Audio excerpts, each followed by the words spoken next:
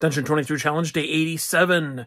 Here's my map. This stairway. So this is a really steep stairway. It's like at 45 degrees. The stairs are really, really narrow. So don't slip because they're all covered ichor and gore and stuff. And if you happen to slide down the stairway because, you know, you slip and fall, you're going to find yourself in a big pool of blood.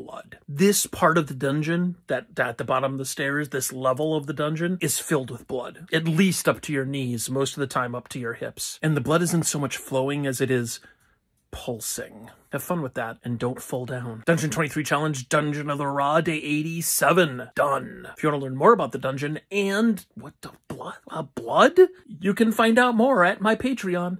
Link below.